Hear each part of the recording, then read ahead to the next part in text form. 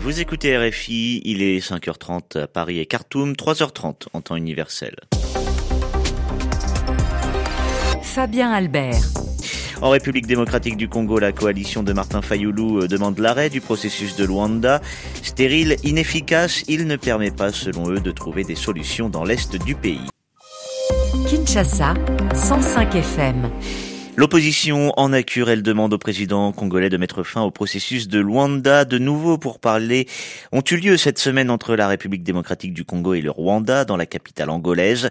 Discussions stériles qui n'ont pas permis d'avancer dans le règlement de la guerre en cours à l'est de la RDC entre l'armée congolaise et le M23 soutenu par Kigali. Là de ce surplace, la coalition de l'opposant Martin Fayoulou, la Mouka, préconise des concertations internes entre le pouvoir, l'opposition et la société civile pour des solutions efficaces à la crise au Nord Kivu.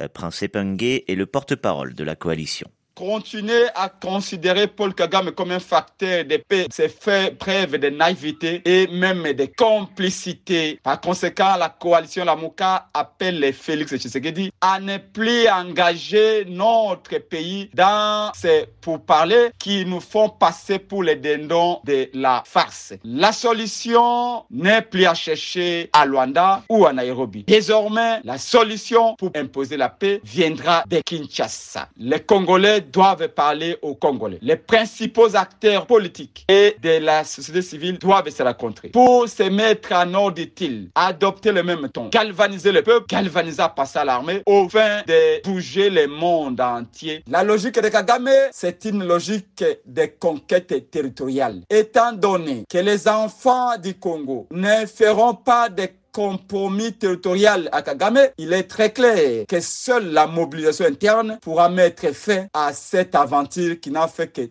trop durer. Prince au micro de Pascal.